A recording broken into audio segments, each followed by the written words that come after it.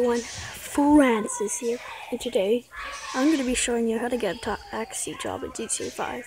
And the reason I'm not filming a TV is it looks like super bad quality when you do that, so why would I do that? I don't have a screen recorder for that, I don't know how to do it, but you basically, like, you could shoot the person, but it's not really a good idea to, like, do that because the police could come after you. But, but, like, like you could use the button light to go in when you shoot the person, and it just pulls them out. But the best way is just hijacking it, because the cops won't go after you that much. Like, if you go near it, says hold this button to hijack the taxi. Like I hold triangle because I have PS4, and it lets me hijack the taxi.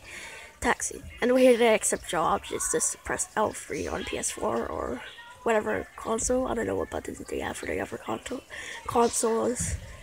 Uh, and you don't have to answer the calls when dispatch says there's a call available, like on tow trucks when you do. Because if there isn't a call on the dispatch that he says something, you can't answer them. But when the dispatch doesn't say anything on taxis, you can still answer calls.